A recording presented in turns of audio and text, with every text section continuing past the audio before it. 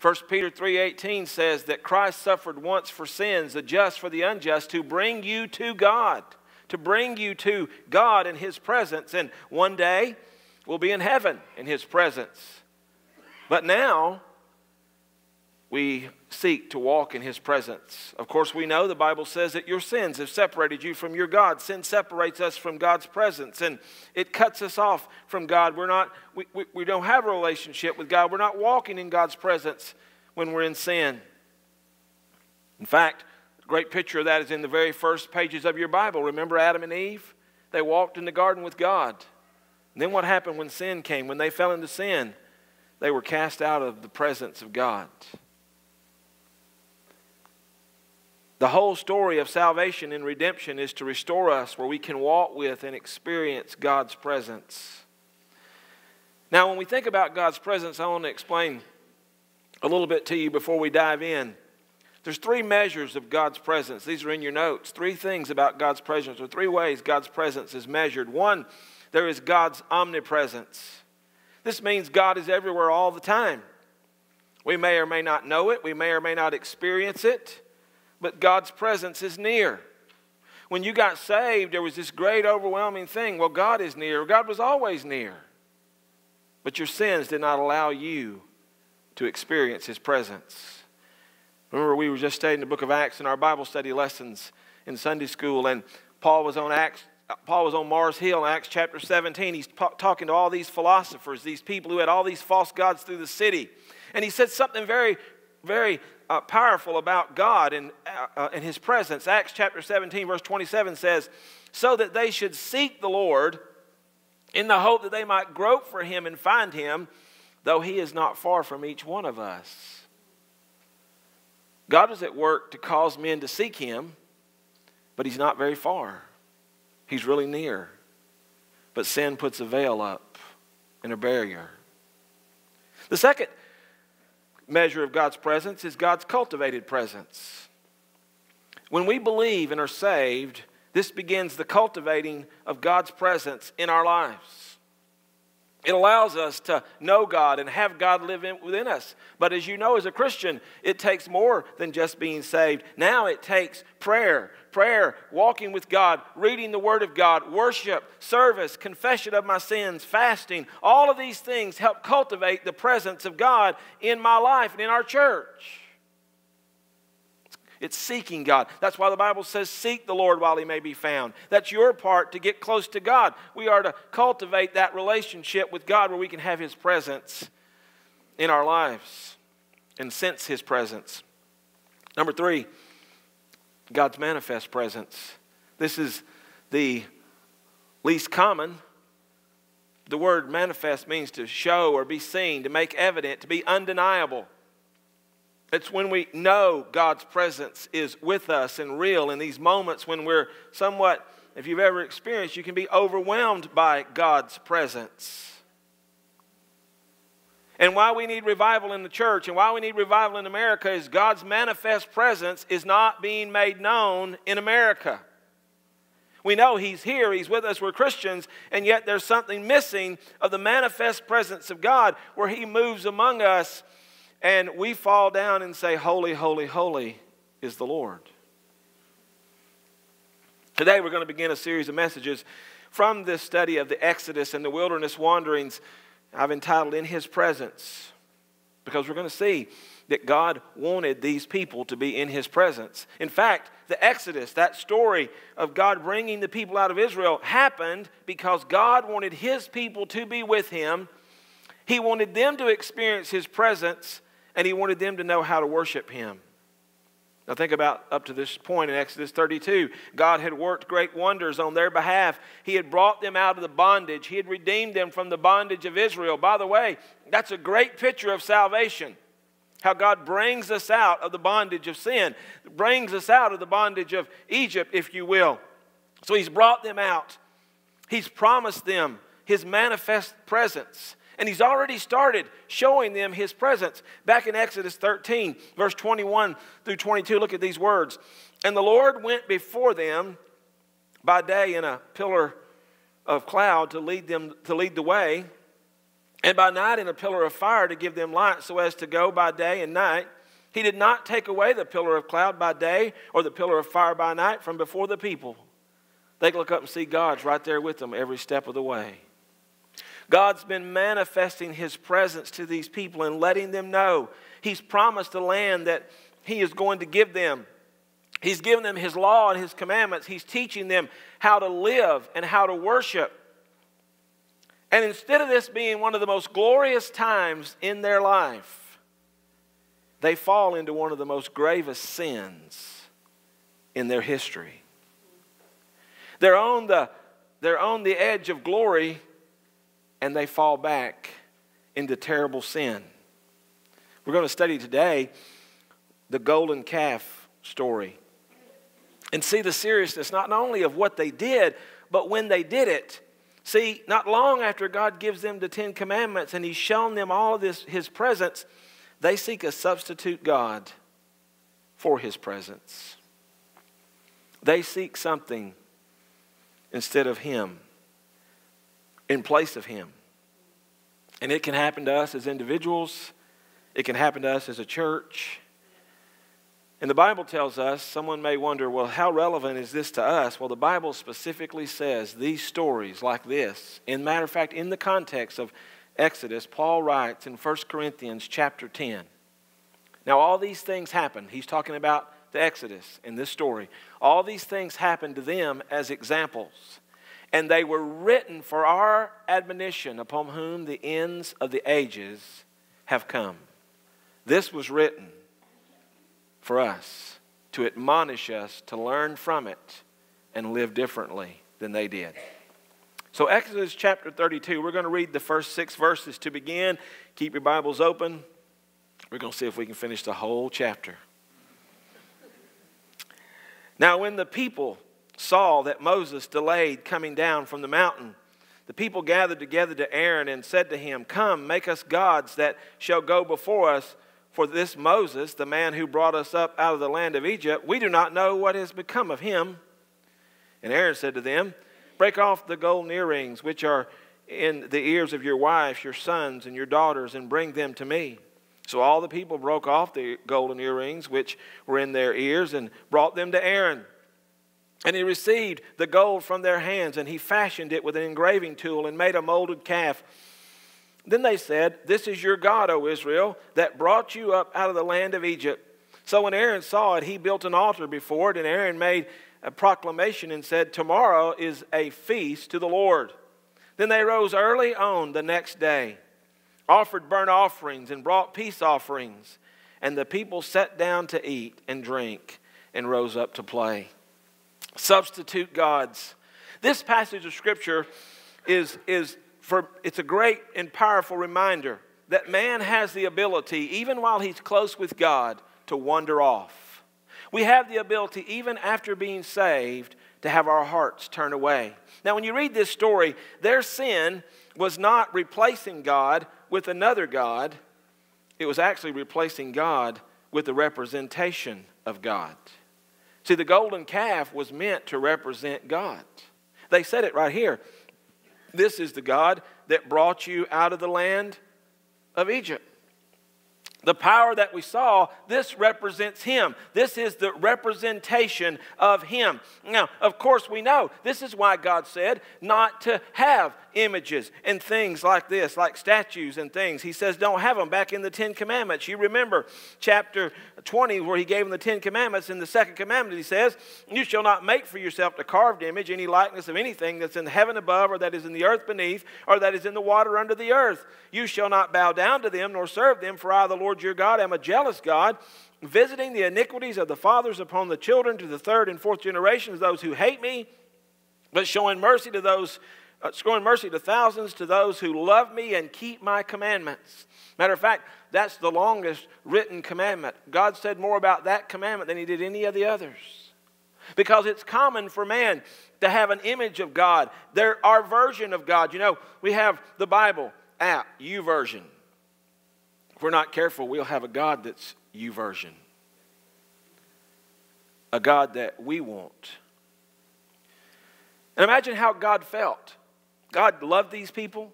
He's done a great work in their life. And now they're fashioning a God that they say this, this is Him. They're, they're changing the image of the invisible God, the incorruptible God, to a corruptible image made by man. Imagine how he felt as he watched these people do this and call this him. Now, it's never happened to me, I don't think, but I've heard people say that they got married and um, all of a sudden their, their spouse tried to change them. They wanted them to dress differently. They started buying clothes that they didn't wear. Now, I've seen some of these people, and some of them needed somebody to dress them, but I didn't want to tell them that. But, uh, uh, but just imagine this person tries to change everything about you. They say they love you, but you realize you're really not acceptable to them. They want to make you into something that you're not. Now, ladies, listen. if you married Elmer Fudd, he's not, go- he's not going to become Clark Gable. Some of you younger people, listen, some of you younger ladies, if you married Steve Urkel, he, he can't become Brad Pitt. I got more. Listen, some of you Star Wars fans, if you married Yoda, you ain't getting Han Solo. but just imagine how that person feels. This is the way God felt. These people could not accept him and they wanted something else. And so they started fashioning this God into what they desired a substitute for God's presence. This morning, let's look and see what we can learn from this text about substitute gods, substituting anything for God's presence. One, substitute gods are gods that we can control. We can control. This story seems to start because Moses is taking too long on the mountain with God.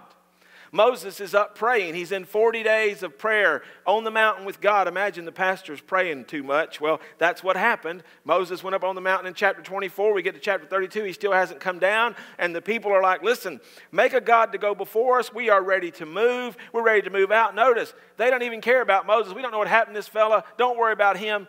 Just make us another God.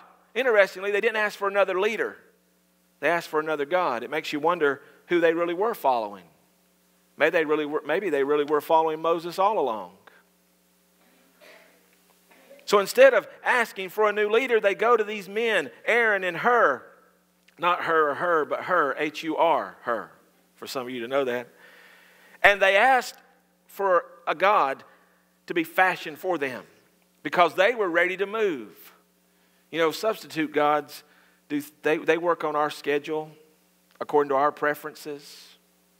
They serve us, we don't serve them. But anyway, interestingly, Jesus talked about God, the Holy Spirit's kind of like the wind. Remember, he said the wind blows where it wills. You don't know where it starts, you don't know where it ends. God can't be controlled by man. God can't be, He doesn't work on our time schedule. He doesn't work on our preferences. God's not bound to us. We don't, he doesn't serve us, we serve Him. But we can fashion gods in our mind, and you'll see this in a minute. Americans do this all the time. Gods that we can control, that work on our schedule, that work according to our preferences. The second thing, substitute gods are gods we can fashion. They said, Make us gods that shall go before us. The, gold, the calf was golden, it was valuable, it was common calves and cows were everywhere, but they were also objects of worship. Many scholars believe in Egypt. Remember, they're coming out of Egypt and they had saw these people worship cows and calves, and so that's what Aaron substitutes. You know, a substitute God in the name of Christ, and there's many of them. Most of the cults have substitute gods in the name of Christ. Jesus is used, his name is used, but it's not the God of the Bible that they're talking about. It's not the, the, it's not the gospel that they're talking about. They have another God in the name of Christ. They preach another gospel, but it's not just people like the cults. Sometimes, even in the church, we like a God that overlooks parts of the Bible that we're not necessarily comfortable with. We like a God who doesn't mention the things we don't want to face. One that's focused on what we're focused on. This is why in America we're focused on the here and now. We're focused on getting and gaining and living and, and having prosperity and having comfort and being healthy, wealthy. Not necessarily wise, but healthy and wealthy. This is why we have all these television programs and all of this health and wealth and this prosperity preaching because that's a God that we fashioned in America. Take that God somewhere like Haiti. You think that God could survive in Haiti? The poorest people in the world, in the Western Hemisphere, the poorest people in the world, and we're going to preach, pray, and you can be rich. Give, and you'll get. That's a God that's been fashioned right here in America. That's a God that we fashion to meet our own needs. But it's also not just those folks. Many people in the church, in the Christian church, are looking for a God who's big on grace and big on patience, but light on judgment and light on keeping his commandments. A God who understands our, our modern day American lifestyles and our busyness and our other priorities. A God who understands our other loves and how entangled we are with this world, even though his, world, his word says a soldier of Christ shall not be entangled with the affairs of this life. A God who would never put more on us because he knows we're too weary. And we would grow really weary if, if he expected more of us. Again, that's our version of God. A God sometimes that no one ever talks about verses like this in Luke chapter 9, where Jesus said these words then Jesus said to them all, If anyone desires to come after me, let him deny himself. Deny yourself, he says. Take up his cross daily. Die to yourself, he says.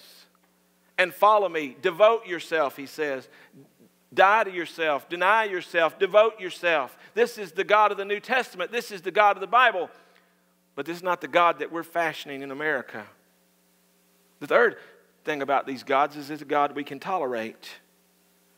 Not only is there only, there, there's only so much of God we can handle. There's only so much of God we can handle. I was watching on YouTube this week. I've been watching some of Billy Graham's old sermons, of course, him dying, and I had watched him several years ago, but I realized it had been about two or three years since I'd watched him preach, and I pulled one up on YouTube. YouTube, you can get anything almost until they censor it. And uh, he preached in Madison Square Garden in 1957 for 16 weeks in a row and I believe it was seven nights a week. It was definitely six nights a week because the one I watched was on Saturday night and he told those people go to church in the morning. I was like, praise God. We can't tolerate that. We can't tolerate that much God. We can't tolerate that. That's why we have to cut everything back. That's why the church has to cut out. That's why the church has to cut back. Nobody else, by the way, is cutting out and cutting back. But everybody expects us to cut out and cut back. Listen, you ever had your, your kids ever been signed up to a ball league and they said, hey, wait a minute, I know we were going to play 30 games. We got talking about that's too many. We're going to play 15. Anybody ever experienced that? I didn't think so. But now, church, we, we have to do that because there's only so much of that we can tolerate. There's only so much not uh, just much of God, but only certain kind of God we can tolerate. In America, we're not, we're not really big on holy God and righteous God. In America, we've been Americanized, not Christianized, and we kind of like a God who will exclude no one, no matter how they live or even what they believe. And we want a God who, in the end, will overlook what we've done and let us all in. And if we've even gave a wink to Jesus anywhere in life, we want to be able to say, hey, they went to heaven. We know they, they yeah, they said they believed in Jesus. But the Bible doesn't teach this, folks. Listen to me. I'm telling you, I know God's a God of grace. I know He's a God of love. But you know, grace was not given so you could live like hell and go to heaven. Grace was so you can live like God and not have to live like hell. Listen, 1 Corinthians 6 9 says this do, not, do you not know that the unrighteous will not inherit the kingdom of God? Now look at these words do not be deceived. You know why he put that in there? Not because they were not just because there were outside influences deceiving them, because there's always an inside influence that will deceive you. The Bible says the heart is deceitful above all things and desperately wicked. Who can know it? He wrote that so their own hearts would not be deceived. Do not deceive yourselves. Neither fornicators, nor idolaters, nor adulterers, nor homosexuals, nor sodomites, nor thieves, nor covetous, nor drunkards, nor revilers, nor extortioners will inherit the kingdom of God. That is the gospel, that is the word of God. So they, they worship this false God. So, what happens to these people? What, what happened in these first six verses that we read? Not only did they sin by fashioning this false God, but I want you to know they sinned in their worship of their false God. The Bible says that they rose early on the next day. That's interesting. People often will rise early for a false God, but they often won't rise early for the real God. Listen, listen. I'll guarantee you, the ball fields were full this morning. Sunday school classes were empty this morning. You don't tell me they won't rise early for a false God? They'll leave Wyandotte County, be on the other side of Leavenworth County or the other side of Johnson County, 7 o'clock in the morning so they can play ball. That's a God in our lives. Churches are trying to accommodate it, by the way. We're trying to, I, have talked to church leaders, they're trying to shift their schedules. So we'll, we'll, we'll have something here so they can bring them, the ones that will bring them before they go. We'll have something here so the ones that will bring them after they go. We have all these false gods that, that take up our life. So they rose early. But notice the Bible says they, they rose early and they offered their offerings, and then the people sat down to eat and drink and rose up to play. That little phrase there, rose up to play, is a very important phrase. Hebrew scholars tell us it was a phrase that described sexual immorality. And basically, what happened here in their worship of this false God, their worship turned into a drunken sex party right out there in the open. The most terrible form of debauchery happened. False worship, worshiping a substitute in the name of Christ, one that we fashion, will always result in sexual immorality. You know why? Because God is holy. And when it comes to sex, man has a hard time being holy. So we want a God that can accept our immorality. So we fashion a God that's not hard on sexual immorality. And you listen, you can study this down through the history of the church. Every time the church is in need of revival, sexual immorality in the church rises, the sexual standards of the church begins to lower. They, it begins to be accepted. We begin to accept sexual practices that we shouldn't. Now listen, there will always be, and there always has been, sexual sin in the church, even in revival. Even in the greatest days of the church, people will sin sexually because people sin sexually. But that's different than it being the common practice in the life of the church. Revelation chapter 2, Jesus spoke to the church in Thyatira and he says this Nevertheless, I have a few things against you because you allowed that woman Jezebel, who calls herself a prophetess, look, to teach and seduce my servants to commit sexual immorality and to eat things sacrificed to idols. Did you notice in that text and in the last text we looked at, 1 Corinthians, sexual immorality was coupled with idolatry in both of them. So today in America, we have a God that has allowed us to slide in our, our morality. I talk to people all the time that are praying and sleeping with their boyfriend or their girlfriend. They're not repenting, but they're praying.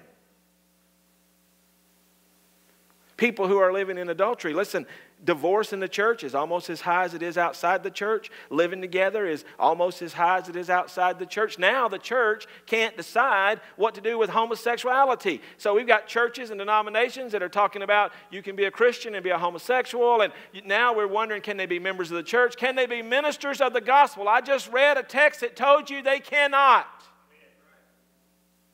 But them, not just them, a whole lot of other people that are living in sexual sin. We've substituted a false God for His presence. And we think grace means that God won't do anything.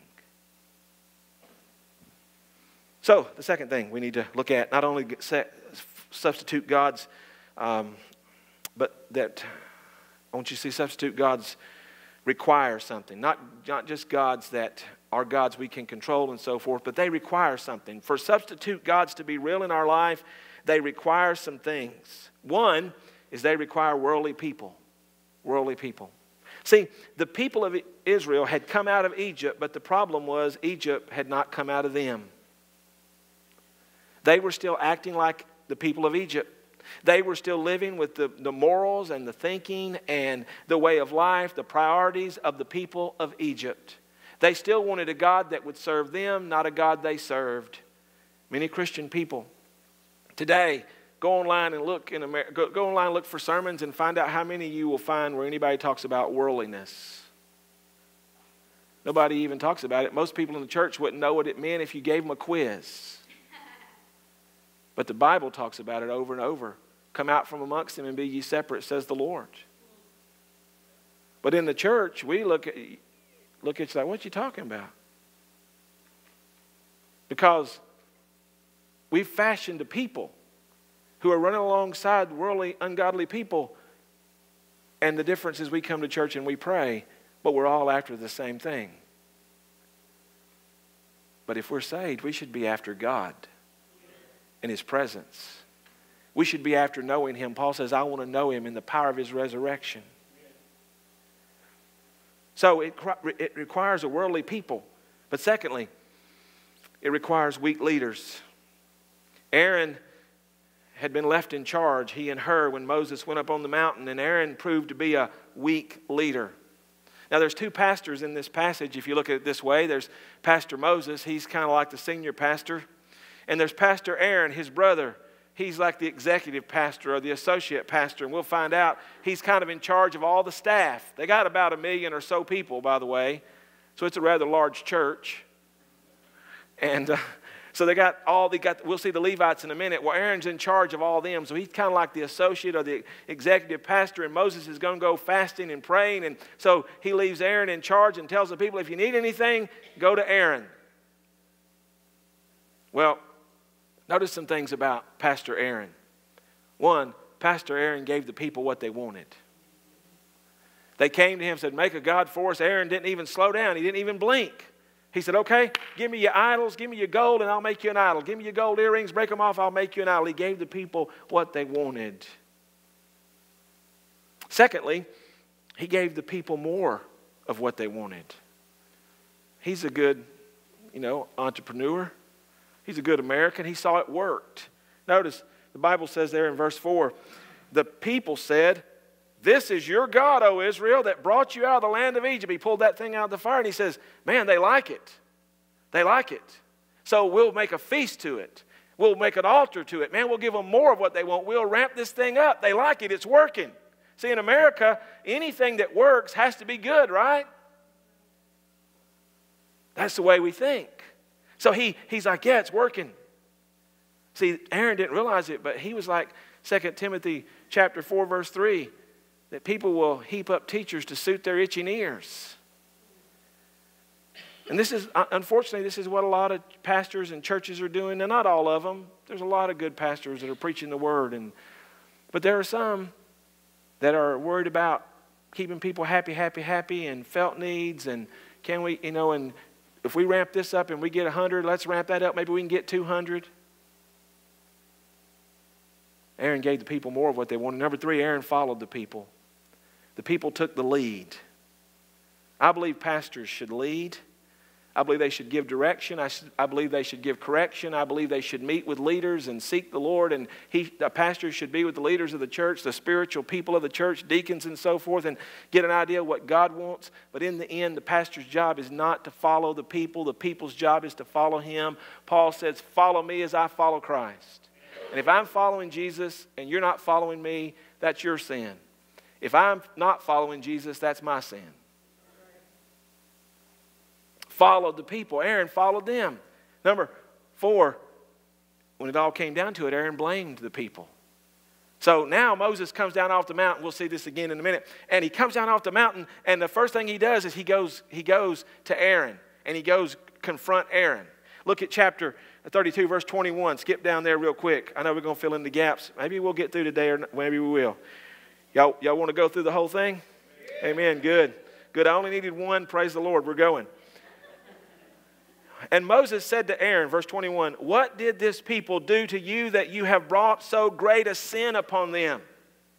Can you imagine God's going to say that to pastors? You brought a great sin on these people. You gave them what they wanted, and they didn't want me. They wanted their own version of me, and you didn't give them me. You brought a great sin on them. Verse 22. So Aaron said, Do not let the anger of my Lord burn hot. You know the, the people that they are set on evil. Moses, you know how sorry this bunch is. Well, you've been with these people, Moses. You know, you know they're rotten to the core. And you know what? He's right. Their heart was set on evil.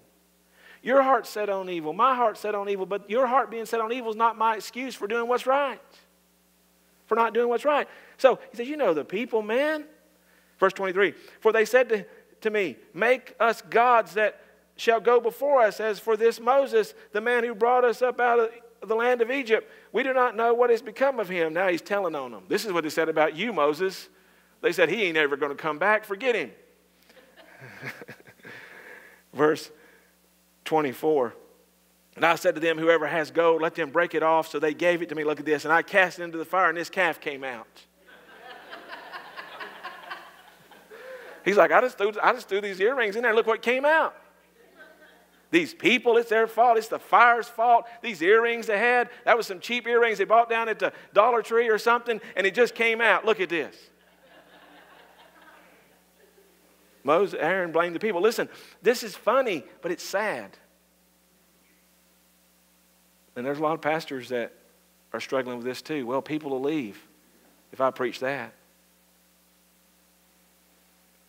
Well, people will leave if you preach it or if they don't, so just preach it, man. But there's another pastor, Pastor Moses. Look at his look at him. A couple things he did, and we'll run through this very quickly. Number one, Moses gave the people what they needed. They needed the law of God. They needed the truth of God. A pastor is to give us the law of God, the gospel of God, the word of God. That's what we need. He gave it what they needed. Number two, he led the people. He had already led them out. He was seeking to lead them in, but he led them. He didn't let them lead him. Number three, he rebuked the people. He was angry when he came down off the mountain. We'll read it in a moment. He, he throws the stones down and breaks the. Listen, he broke the Ten Commandments that God wrote with his finger. Not a good day at church. And so he breaks those, you know, and um, the buildings and grounds couldn't fix this either. So he was angry, but he goes and he rebukes them. We're going to see it in a minute. You know, the Bible says in 2 Timothy chapter 4, that same pass, passage, Preach the word, be ready in season and out of season, convinced, rebuke, exhort with all long suffering and teaching. He tells Timothy, Timothy, you got to preach the word in a convincing way. You got to rebuke them sometime. You got to exhort them. Be patient and teach them the word of God, but do it. Some Sundays you should leave here rebuked. You should leave here sometimes convinced, exhorted, because it's the word of God. Rebuke the people. Number four, he prayed for the people. You're going to see twice in this chapter, Moses is a picture of Jesus praying for these wayward people. I'm going to show you in a minute how he prayed and how much he loved these people. See, for a church, an individual, to have a substitute God that's not the true God in their life, they have to be wayward, worldly people who sit under weak leaders who won't preach the truth. I want to exalt Jesus when you come in here because He is the one true God, the way, the truth, and the life. And in the process of preaching that, I want to destroy any false God that you have. Amen. Number three, substitute God's bring. There's something that they bring with them. When they come into our midst, just like this situation, when they come into our midst, there are some things that are going to happen when we have substitutes. Number one, what's going to happen is the wrath of God is going to happen. Now, people don't believe that God's a God of wrath, but he's not a, he's, He hasn't changed. Look at verse 7. So they, they bring their false gods, they've got it, it popped out of the fire, like Aaron said. Yeah. And verse 7 says this and the Lord said to Moses, Go, get down, for your people whom you brought out of the land of Egypt have corrupted themselves. They have turned aside quickly and are out of the way which I commanded them. They have made themselves a molded calf and worshipped it and sacrificed to it and said, This is your God, O Israel, that brought you out of the land of Egypt, that brought you out of the land of Egypt. So, the wrath of God is coming on them. Now, notice verse number uh, 9. And the Lord said to Moses, I have seen this people, and indeed it is a stiff necked people, a, a people unwilling to change. Now, therefore, let me alone, that my wrath may burn hot against them, and I may consume them, and I will make of you a great nation. You know what God does? God disowns them. Moses, they're your people now. They're stiff necked, they're stubborn, they're unresponsive. But now, listen if you go back and you read chapter 19, right before he gave them the Ten Commandments, he says to Moses to tell these people, You are a special treasure to me of all the people in all the earth. So don't think God doesn't love these people. Somebody comes in and, you know, we're, we're wanting to hear John 3.16 every Sunday and we forget this God exists. He loved these people. He reminded them what he did to bring them out of Egypt. And he says, of all the people in the world, you're a special treasure to me. That's like me saying, of all the women in the world, Karen is a special treasure to me. She's mine. Of all the grandbabies in the world, Ava's a special treasure to me. She's mine. God said that about those people. A special treasure to me. But because of this sin, and because of their turning their back on Him and fashioning something besides Him, God's anger is hot. There's people who believe this God doesn't exist. There are actually people who teach that there's a God of the Old Testament and He changed in the New Testament. But listen, the Bible says very clearly Malachi 3 6, look at this. For I am the Lord God, I do not change. Therefore, you are not consumed, O sons of Jacob. He reminded them, Because I don't change, this time I'm not consuming you. I could consume you because of your sin, but because I don't, don't change, I'm not going to consume you. Hebrews chapter 13, verse 8 says, Jesus Christ is the same yesterday, today, and forever. God's wrath burns at false gods. Whether I set them up in my heart, this is why we don't have statues in the church that we pray to, because God's wrath burns against that. And whether we preach another gospel that's no gospel at all, God's wrath burns against that. But secondly, look what happens. Not only does it bring the wrath of, of God, but it also brings the intercession of the godly. Somewhere, some godly people are going to see the displeasure of God and they're going to start praying. This is what Moses does. Look at verse 11 chapter 32, verse 11. Then Moses pleaded with the Lord his God and said, Lord, why does your wrath burn hot against your people, whom you have brought up out of the land of Egypt with great power and with a mighty hand? Now Moses is giving them back to God. Did you notice? God called them Moses' people. Then Moses says, Why do your wrath, your, hot, your, your wrath burn hot against your people? Right now, nobody wants them.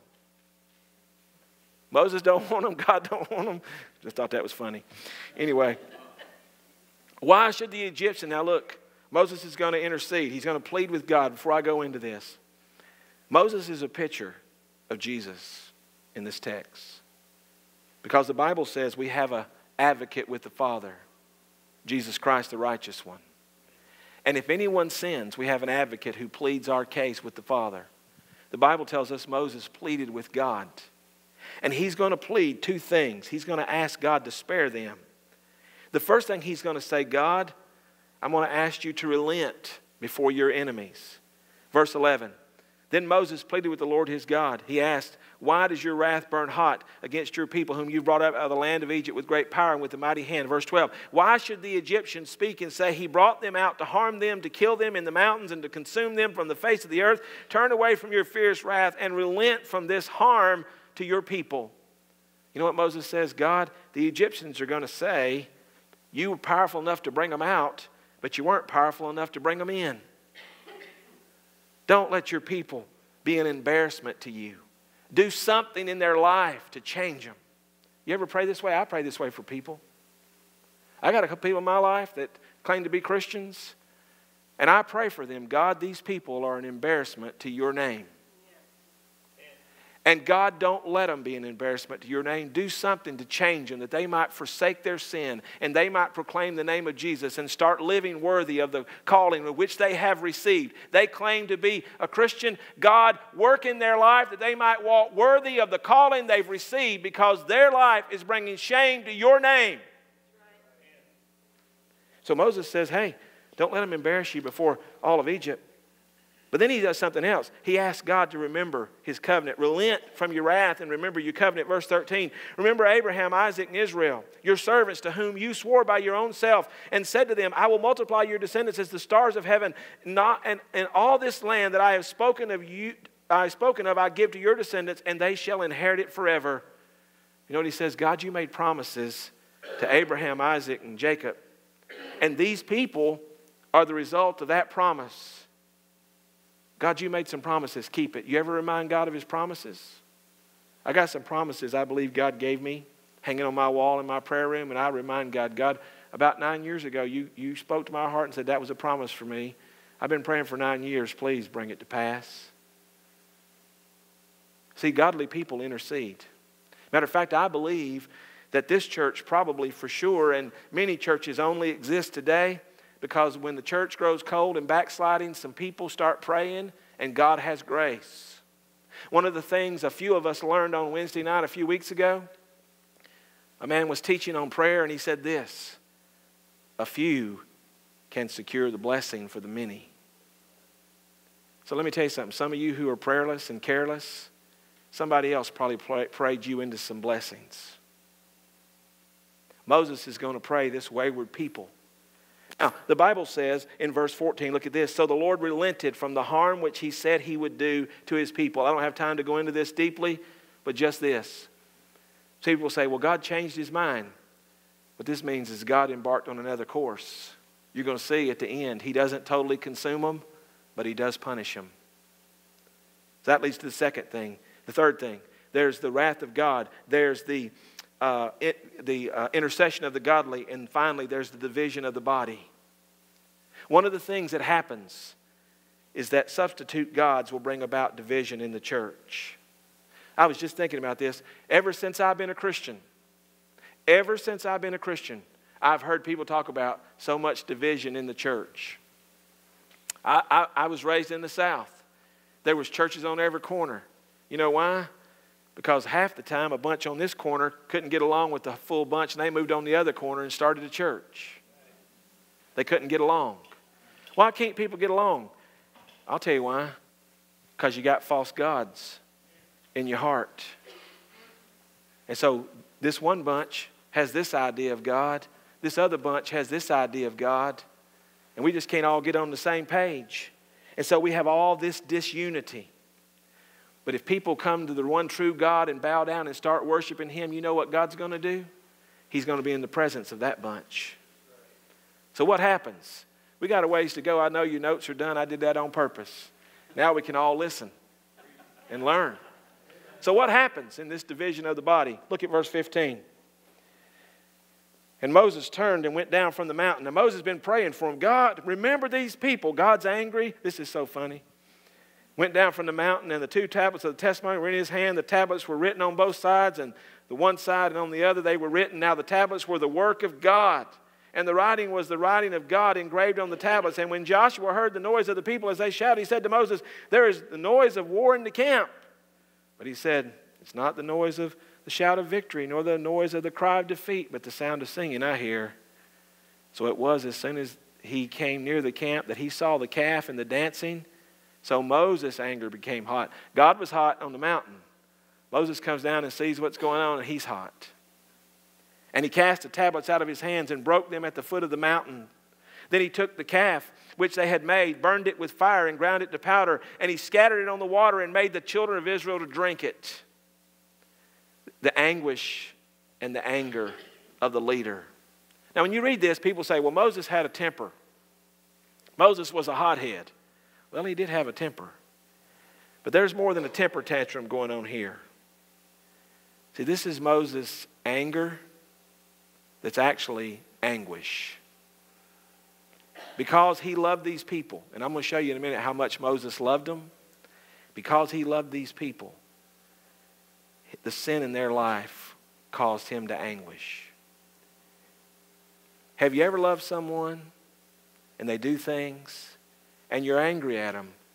But it's more than just an anger like you would have when you watch television and you see some, somebody shoots and kills a little kid and you're angry about that and all the wickedness. You, we need to be somewhat angry about all the wickedness. But it's somebody that you love. and there's a deep anger in your heart because you know they know better and they shouldn't be doing this and they're destroying their lives or they're destroying their kids' lives. They're destroying your grandkids' lives and you love them, but there's a deep anguish. It's more than just that you're angry, there's a deep hurt down in your soul. Immediately when Moses saw this, it's not just that he was angry, I'm going to throw a fit. This was the cry of a broken heart deep down inside of him. And Moses throws these tablets down and he takes this. Imagine, I'm, I'm watching this. You know how bad a man Moses was? Moses is a bad dude. Think about it. There's, there's, there's, they say over a million people there. Moses walks in and just takes the whole thing over. He just breaks this, this calf down, throws it in the fire, and then he sprinkles it in the water and he says, Drink it, drink it.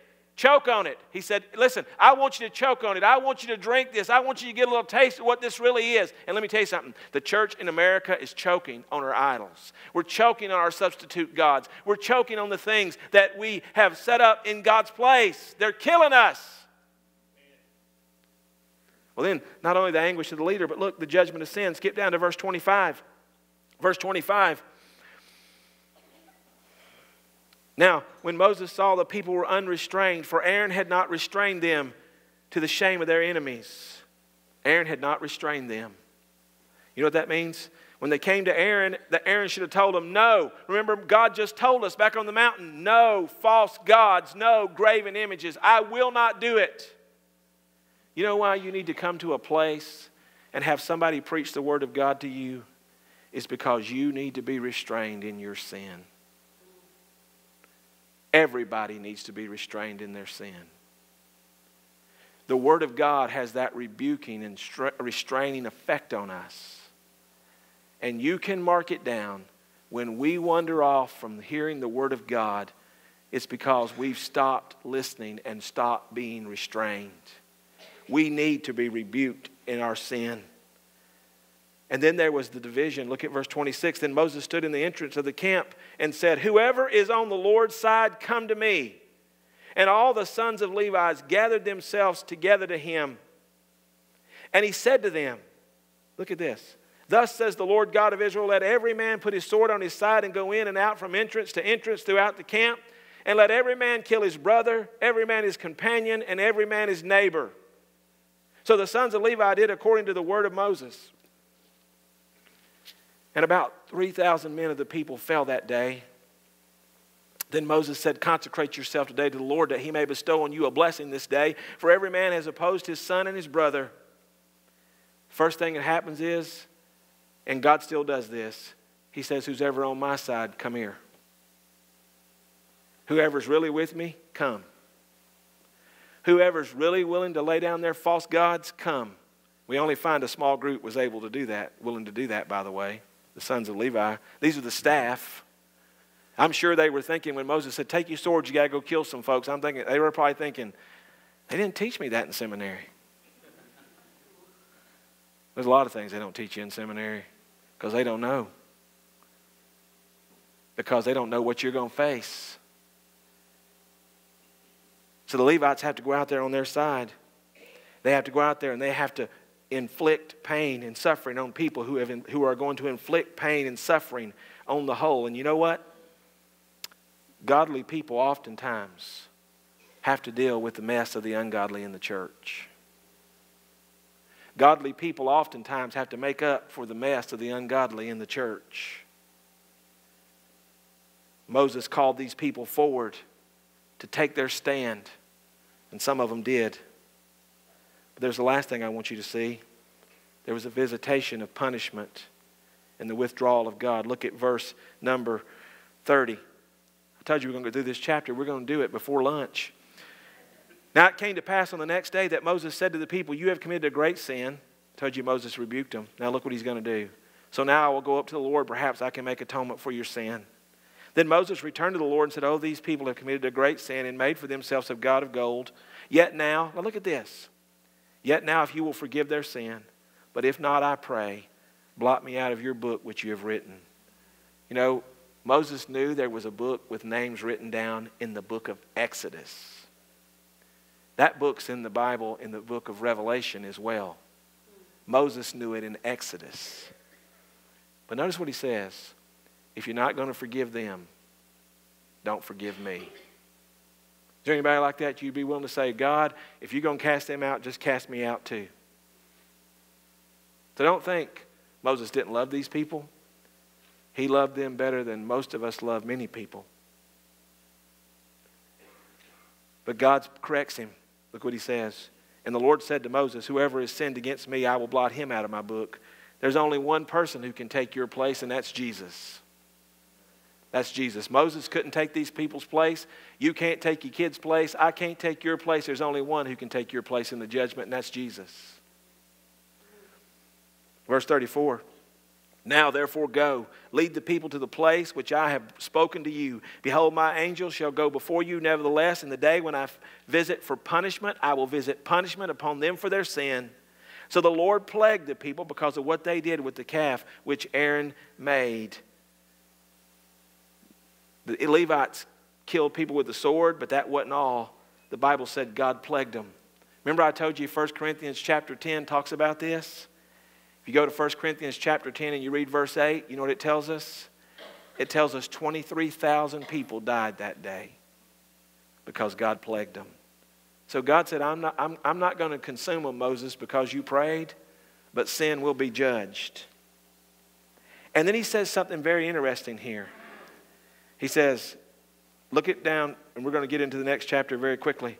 Look down to chapter 33 and um, verse 3. Look what he says. Well, verse, verse 2. And I will send my angel before you, and I will drive out the Canaanite and the Amorite and the Hittite and the Perizzite and the Hivite and the Jebusite. I'm going to send my angel before you. But look at this. Go up to a land flowing with milk and honey, for I will not go up in your midst lest I consume you on the way, for you are a stiff necked people. You know what he says? Because I made a promise to Abraham, Isaac, and Jacob, I'm going to clear a path for you, but I'm not going to walk with you. That's kind of like saying in the New Testament, because of your sin that you won't repent of, I've saved you, but I'm not going to be with you on earth. I'm going to turn you loose to go your own way.